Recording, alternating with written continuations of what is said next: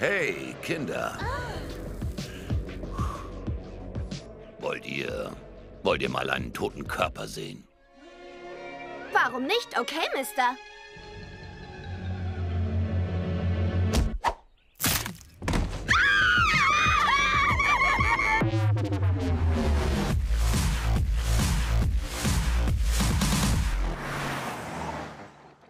Ich habe Julie endlich zum Abendessen zu mir nach Hause eingeladen. Findest du es seltsam, dass meine Mutter für uns kocht? Alter Mann, ich habe noch nie jemanden erlebt, der sich selbst eine Schwanzblockade baut.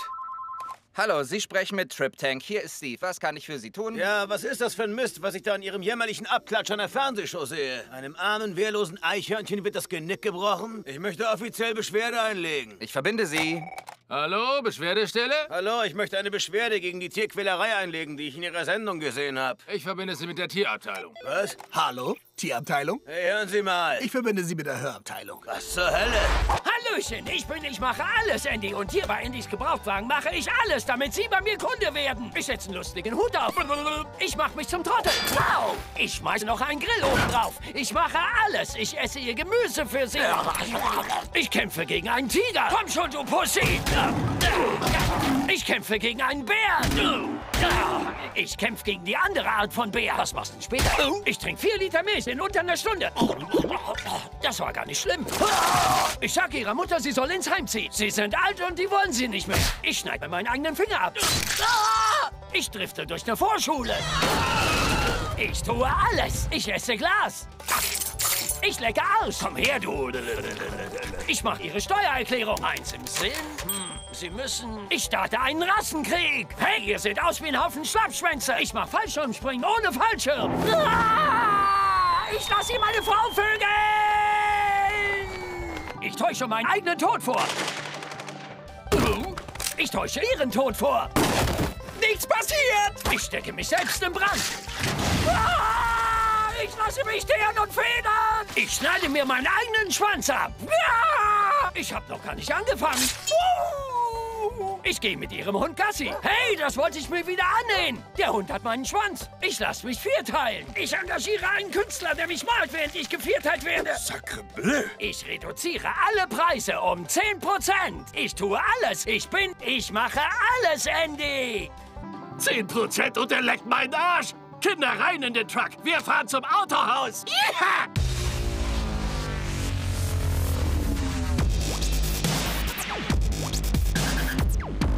Entschuldigung, hätten Sie einen Moment, um gefährdeten Meeresschildkröten zu helfen? Tut mir leid. Hallo? Äh, äh, hallo, Sir, würden Sie... bin nicht interessiert. Verzeihung, Ma'am. Hau ab. Entschuldigen Sie, Sir. Fick dich Äh, selbst. rettet die Schildkröten? Nein. Will denn keiner Schildkröten retten? Äh, rettet die Schildkröten. Ich krieg die Unterschriften, ich verspreche es. Nicht meine Eier, alles aber nicht meine Eier. Oh mein Gott, sieh doch mal! Ein doppelter Regenbogen! Wow, was das wohl zu bedeuten hat. O'Leary. Mickey.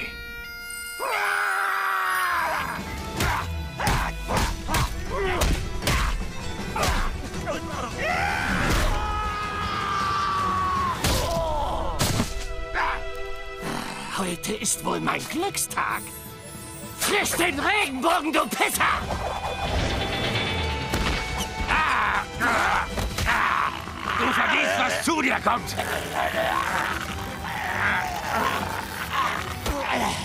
Wow, sieh dir das an. Willst du etwas davon? Ich geb's dir! Ah!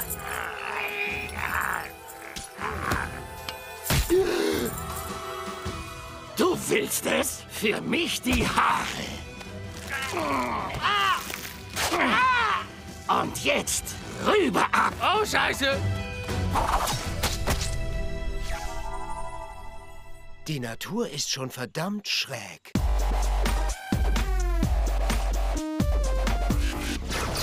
Wir schreiben das Jahr 2007. Der brutale Krieg zwischen Menschen und Maschinen wütet weiter. Die Maschinen haben gerade eine neue Geheimwaffe eingesetzt. Diese verdammten Roboter haben uns alles genommen. Freunde, unsere Familien, unsere Art zu leben. Aber weißt du, was ich im Moment am meisten vermisse? Was denn, Sarge? Kuchen mit Pekannüssen. Hab kein Stück gegessen, seit der gottverdammte Krieg angefangen hat. Ah, ja. Für mich ist es das Chili von meinem Pap. Was gebe ich nicht alles für dieses Chili? Hey, was ist mit dir, Ted? Welches Essen vermisst du am meisten? Altmetall. Alles klar, Mann. Alles klar. Hast du gerade gesagt, du vermisst es, Altmetall zu essen? Nein. Also welches Essen vermisst du noch mal am meisten? Pizza und Hamburger. Pizza und Hamburger. Das ist ja mal eine klassische Kombination. Sarge, kann ich Sie einen Moment sprechen? Hey, ich denke, dieser Typ könnte ein Roboter sein. Wer? Ted? Ja, ja, ich weiß nicht. Irgendwas stimmt einfach nicht mit ihm. Auf keinen Fall. Komm mal her, Luger. Ich glaube, du verlierst langsam die Nerven, Mann. Du bist einfach zu lange an der Front gewesen. Du siehst schon überall Roboter. Also, Ted, was hast du noch mal gesagt, wo du herkommst? Ich bin aus Tokio, Japan. Es ist die größte Stadt der Welt, also wäre es mathematisch gesehen plausibel, dass ich von dort komme. Seine Story ergibt Sinn. Tut sie das?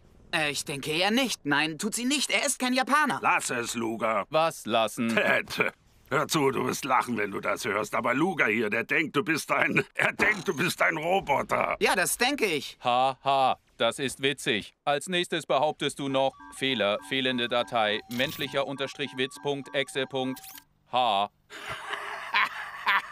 Oh, klasse, Ted. Okay, du streitest also ab, dass du eigentlich ein als Mensch getarnter Roboter bist, der geschickt wurde, um den Widerstand zu infiltrieren. Nun lass ihn aber in Ruhe, Luger. Ja, ja. Ihre unfairen Anschuldigungen haben in mir das Gefühl von Wut ausgelöst.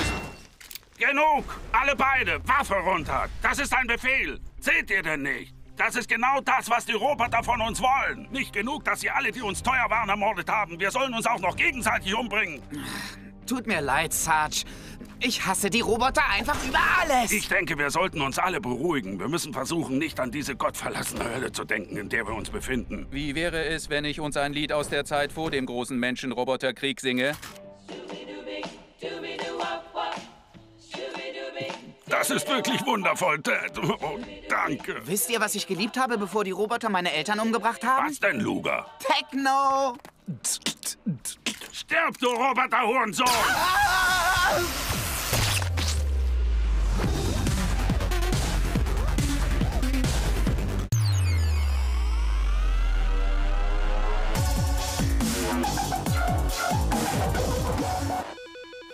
Hallo, Trip Tank Fick dich selbst Abteilung. Was kann ich für Sie tun? Hören Sie, Sie erbärmliche Stück Scheiße. Ich verbinde Sie mit der Abteilung. Trip Tank hier, Steve. Gottverdammt! Gottverdammt. Ah ja, ich verbinde Sie mit der Abteilung. Moment. Trip Tank, Abteilung für Theologie und Wasserkraft. Hier ist Tony. Ich bin ganz ohr. Tony, ich schwöre Ihnen, wenn Sie mich weiter verbinden, komme ich persönlich vorbei und poliere Ihnen die Fresse. Oh, das möchte ich ja nicht. Sagen Sie mir einfach, wie ich Ihnen helfen kann, Sir, und wir haben keine Probleme. Okay, na schön. Danke, Tony. Ähm, ich habe Trip Tank gesehen und ich habe eine Beschwerde. Das macht die Beschwerdestelle. Einen Moment bitte. Ah, nein! Seht euch diesen Scheißkerl Gary an. Macht mit Pfadfindern einen Ausflug wie ein Arsch. Ich sage, wir erschrecken das Arschloch und erteilen ihm eine Lektion. Eine Rachelektion über die Kunst des Streichespielens. Matt, bist du bei der Sache oder was? Oh, ich bin bei der Sache.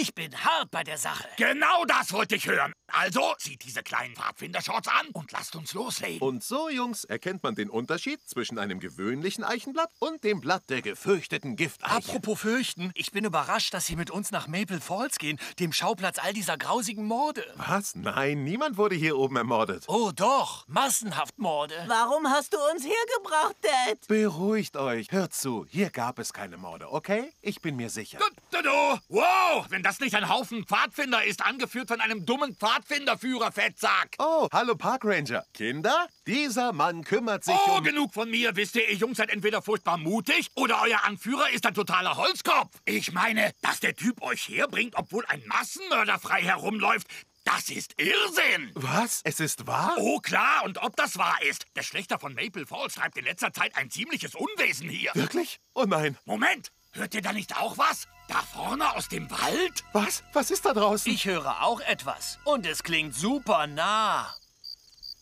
Er hat gesagt, es klingt super nah. Ah! Mord! Mord! Mord! Oh mein Gott!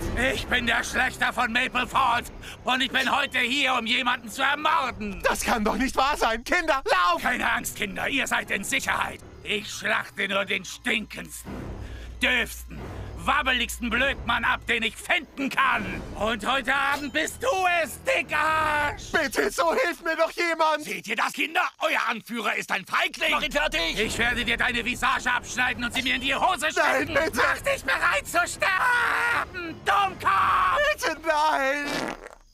Haha, ich wusste es. Gary hat sich vor Angst in die Hose gekackt. Was, was geht hier vor? Bin ich tot? Nein, du Blödmann. Wir sind es. Klar. Dana? Andy? Was soll das? Nur der klassische sich im Wald verstecken, sich als Massenmörder ausgeben, jemanden erschrecken, bis er sich in die Hose kackt, um ihm eine Lektion in der Kunst des Rachestreichspiels zu erteilen. Rachestreich! Leck uns, Gary! Donny hat gerade ein Foto von Garys vollgekackter Hose gepostet. Hashtag verkacktet! Woohoo! So langsam mag ich den Jungen wirklich. Sucky Gary.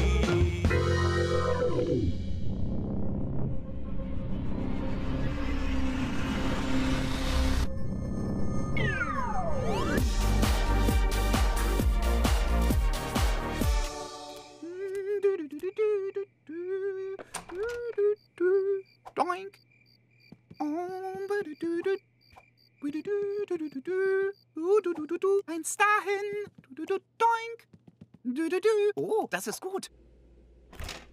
Und zuletzt. Kann ich Ihnen helfen?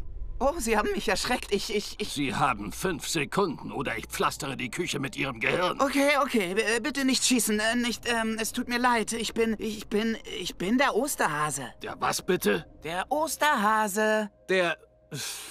Okay. Und was zum Teufel haben Sie in meinem Haus zu suchen? Osterhase? Hallo, ich verstecke Eier. Sie wissen schon, für Ihre Kinder. Die lieben klein. Eier? Für meine Kinder? Nun ja, keine richtigen Eier, Plastikeier. Und die sind mit Süßigkeiten gefüllt. Süßigkeiten? Ja, Süßigkeiten. Ich will Ihren Kindern nur Süßigkeiten schenken. Wow, okay, okay, Sir, ich, äh... Stellen wir das mal klar. Sie brechen mitten in der Nacht in einem gottverdammten Karnickelkostüm in mein Haus ein? Es ist kein Kostüm. Um meinen Kindern Süßigkeiten zu schenken? Nicht schenken. Verstecken. Sie müssen sie finden, um sie zu essen, aber... Sie gottverdammter Kinderschänder! Was? Nein, nein, nein, nein! Sie haben zehn Sekunden, um hier zu verschwinden, oder ich drücke ab. Eins. Okay, in Ordnung. Ich gehe ja schon. Ich bin schon weg. Zwei. Aber nur, damit Sie es wissen, Sir. Ich... Zehn. Mein Gesicht. Äh. Äh. Und daher weiß man, dass es den Osterhasen nicht wirklich gibt. Ah, jetzt ist aber Schlafenszeit. Gute Nacht, meine lieben, lieben Jungs. Und damit ihr es wisst, ich liebe euch. Warum hatte der Mann Dads Bademantel an? Ich hab Angst.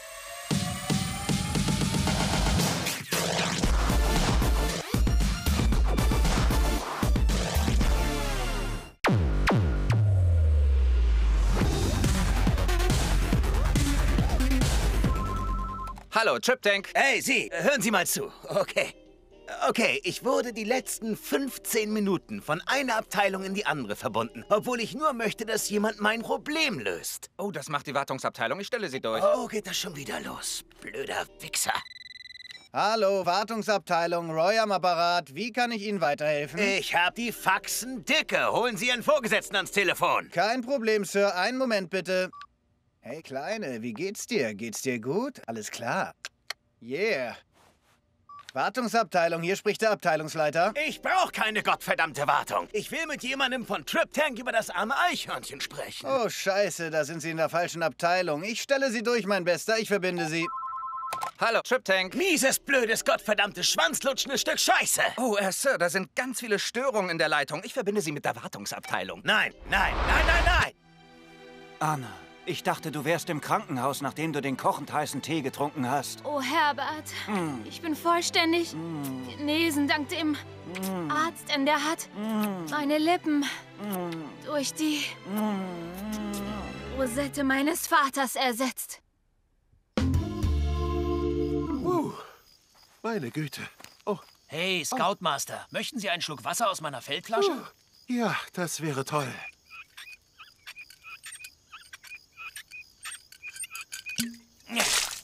Matt, bist du das? Uh, verkackt, Gary! Wuhu! Wuhu! Uns, Gary! Wuhu! Wieso machen wir eigentlich nie High Five? Äh, weil ich deine feuchten Hände eklig finde. Sucky Gary. Pfeffer, Jesus, Baby.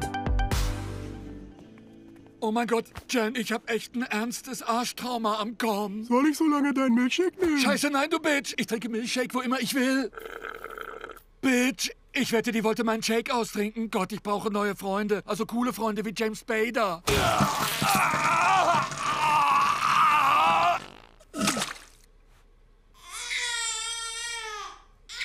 Oh mein Gott.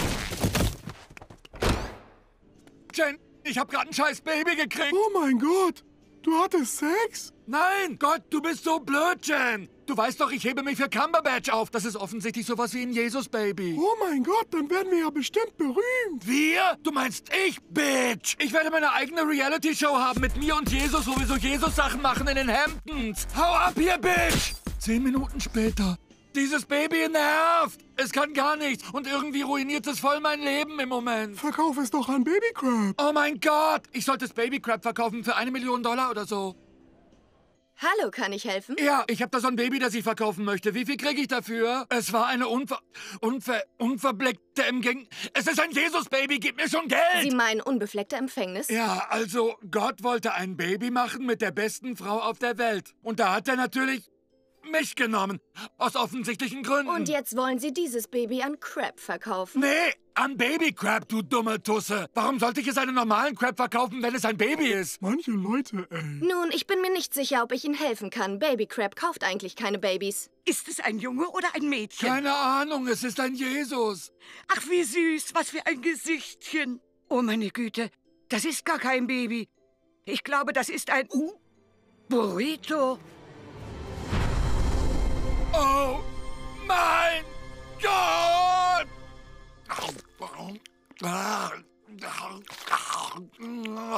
Das ist das beste Burrito-Baby, das ich je gegessen habe.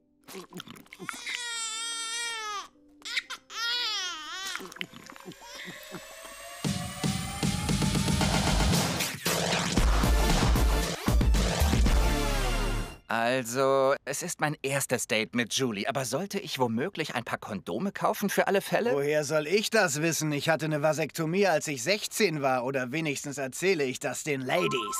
Oh Gott, das ist bestimmt wieder dieser Typ. Oh, oh, hey, stell ihn nach unten zu Ben durch. Das macht ihn fertig. Ah, gute Idee. Ben-Abteilung, hier ist Ben am Apparat. Was kann ich für Sie tun? Oh mein Gott, wollen Sie mich verarschen? Hören Sie mal zu, Sie fette Schlampe. Moment, ich verbinde Sie mit der Abteilung. Hallo, fette Schlampenabteilung. Nein, oh Gott, nein, ich will nicht in die fette Schlampenabteilung. Okay, ich verbinde Sie. Hallo, nicht die fette Schlampenabteilung. Was kann ich für Sie tun? Das ist doch krank. Ihr seid alle ein Haufen Arschlöcher. Ist bei Ihnen eine Schraube locker oder sowas? Moment bitte. Ha, ha, ha, ha, hallo, Trip Tank. Hier ist Rob. Roboter Ben. Was kann ich, was kann ich, was kann ich für, für Sie tun? Ich verstehe kein Wort, was Sie sagen. Stellen Sie mich wieder zurück. Ich hab, ich hab, ich hab. Binde, binde, binde. Binde, binde Sie. Verbinde Sie, Kekse. Hallo, Sie sind verbunden mit der fette Schlampenabteilung. Wir sind momentan alle in der Pause. Ah!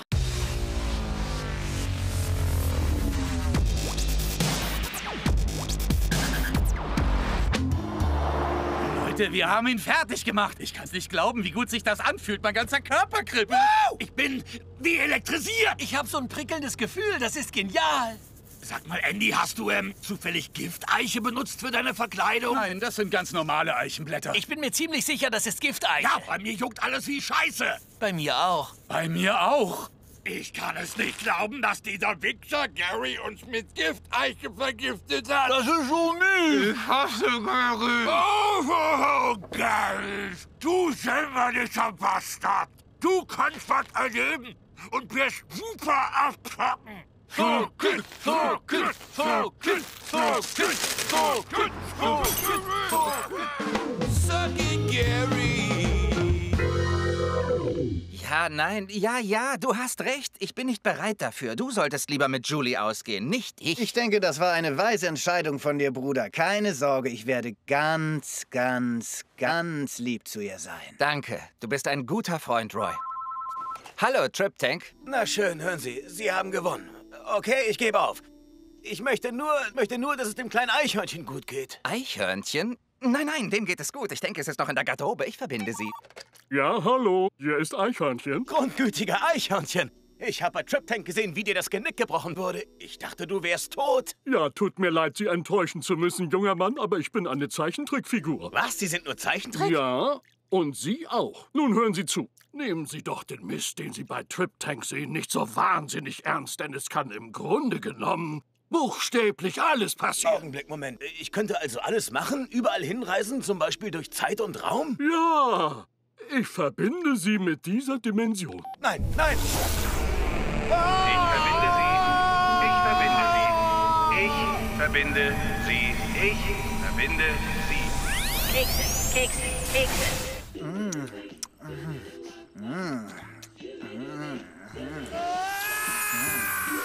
Was zur Hölle war das? Das ist das Ende des Regenbogens für dich, Arschloch.